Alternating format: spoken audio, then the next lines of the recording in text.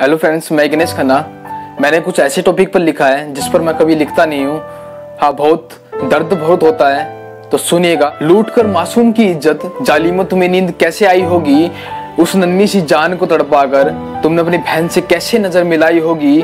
कसूर क्या था? कसूर क्या था? उस नन्नी सी जान का कलेजा नहीं फटा होगा जब वो चिल्लाई होगी, और ये दिल आज भी रो रहा है, और कल भी रोता था। और ये दिल आज भी रो रहा है, और कल भी रोता था। इन बेटियों की दर्द की कोई सुनवाई नहीं होगी और धिक्कार है, और धिक्कार है मुझे ऐसे कानून, ऐसे न्यूज़ चैनलों पर, और धिक्कार है मुझे ऐसे कानून, ऐसे न्यूज़ चैनलों पर कि इन बेटों की कोई मौत की कोई तारीख नहीं होगी, इन बेटों की मौत की कोई तारीख नहीं होगी।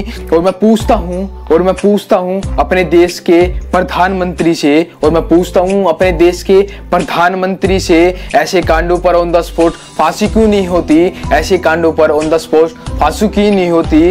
अंत में मैं यही कहना चाहता हूँ, अंत में यही कहना चाहता हूँ, तुम इतने दरिंदे कैसे हो? तुम इतने बेरहम कैसे हो दरिंदो?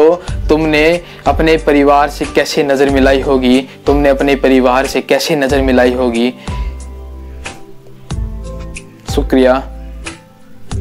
अंत में सिर्फ़ यही बोलूँगा, इस वीडियो को हमारे देश के प्रधानमंत्री तक पहुँचाए, ताकि इस पर कुछ सुनवाई हो सके। मैं चाहता हूँ कि मेरी पोइट्री आगे तक पहुँचे। आपका सपोर्ट चाहिए। Thank you